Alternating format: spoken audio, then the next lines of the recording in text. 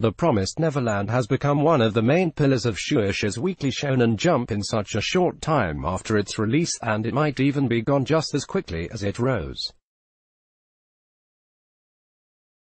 In a recent interview with series creator Kaiu Shirai and illustrator Posuka Demizu for France Info, Shirai hinted at the end of series as he only imagined the series would be 20 or even 30 volumes long initially. In the interview, Shirai describes how he pitched The Promised Neverland to Shueisha with a manuscript of around 300 pages. Shirai initially plotted the course of the series until the end of the escape arc, which is what the anime is currently set to adapt, and doesn't want to stretch the length of the story too much. With 10 volumes already published in Japan, Shirai currently only sees about 20 or even 30 volumes for the story as a whole.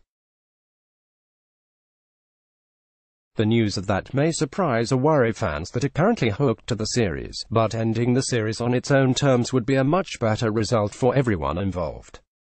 The Promised Neverland is heading towards some major climax as the editor of the series The editor for the series once revealed that the manga has reached a major shift, stating that the manga entered a new arc, and the serialization and story reached its turnaround point.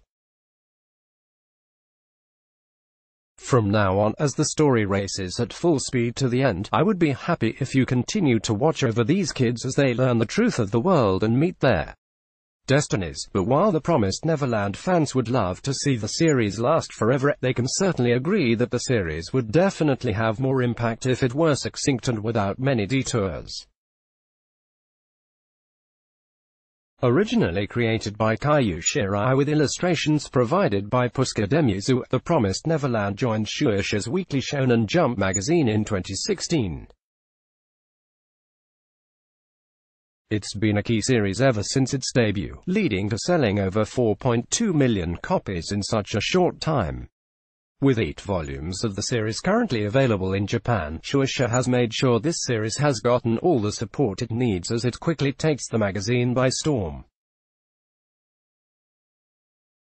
The Promised Neverland is licensed by Viz Media for an English-language release and is described as such. Zero comments Emma, Norman and Ray are the brightest kids at the Gracefield House Orphanage. And under the care of the woman they refer to as mom, all the kids have enjoyed a comfortable life. Good food, clean clothes and the perfect environment to learn. What more could an orphan ask for? One day, though, Emma and Norman uncover the dark truth of the outside world they are forbidden from seeing via France Info.